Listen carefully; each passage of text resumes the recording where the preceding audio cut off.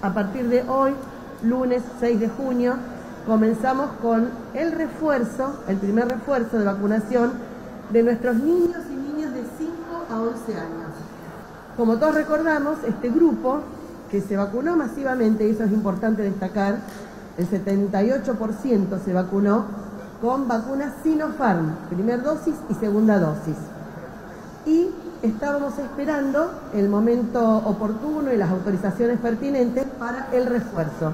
Así que a partir de hoy, aquí en el portal, en el horario de 8.30 a 18.30, en el hospital geriátrico, ahí vamos a poder hacerlo entre las 9 y las 14, se están colocando las vacunas de refuerzo pediátrico para los grupos 5 a 11 años con Pfizer pediátrica y mayores de 6, de 6 a 11, pueden recibir Pfizer pediátrica o vacuna moderna, que serían las que están autorizadas.